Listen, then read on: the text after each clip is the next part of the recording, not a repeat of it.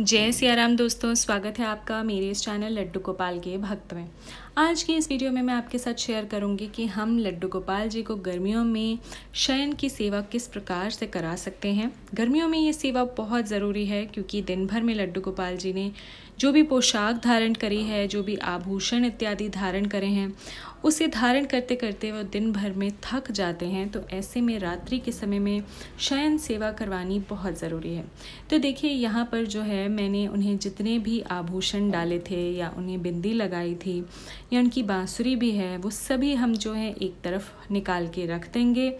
हम उनके साथ उनकी बाँसुरी भी नहीं रखेंगे यहाँ जब हम शयन सेवा रात्रि में करवाएँगे, क्योंकि ऐसा कहते हैं कि लड्डू गोपाल जी के साथ अगर उनकी बाँसुरी साथ में रख दी जाए तो वो रात्रि भर जो है बाँसुरी के साथ खेलते रहते हैं और शयन नहीं करते हैं।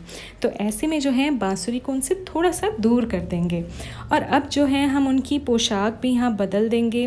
जो भी आरामदायक पोशाक है जिसमें वो आराम से शयन कर सकें, ऐसी पोशाक हम उन्हें धारण करवा देंगे। तो ये देखिए, यहाँ मैंने उनकी सभी वस्त्र जो है निकाल कर एक तरफ़ रख दिए हैं।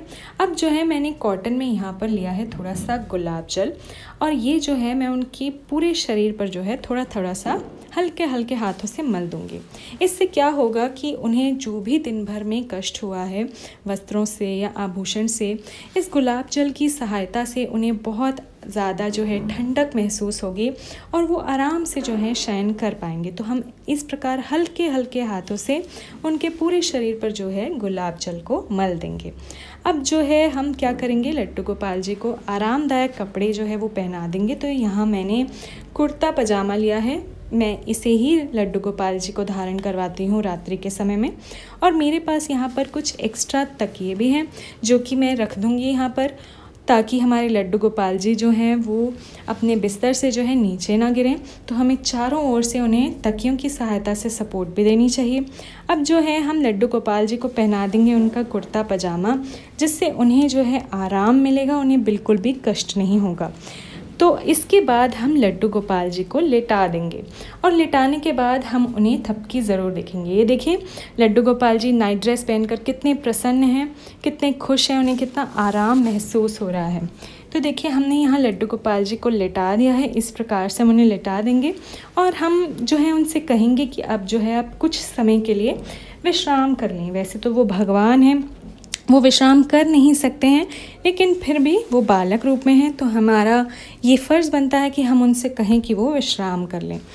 और इसके बाद जो है, आप जहाँ पर भी लड्डू गोपाल जी को सुला रहे हैं, वहाँ पर फ़ैन ज़रूर ऑन करें।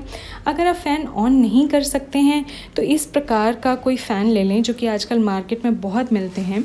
ये जो फ़ैन है, ये चार्जर से चलता है यानी कि मैं इसे सुबह चार्ज कर लेती हूँ और ये रात्रि भर चलता है। इस प्रकार के कूलर वगैरह सब मिलते हैं। तो आप उनमें से कोई भी एक फ़ैन जो है लड्डू गोपाल जी के लिए ले सकते हैं।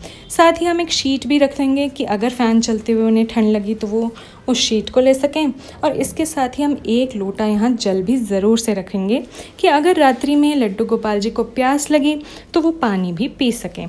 तो इस प्रकार से हम लड्डू गोपाल जी की शयन सेवा करवाएँगे।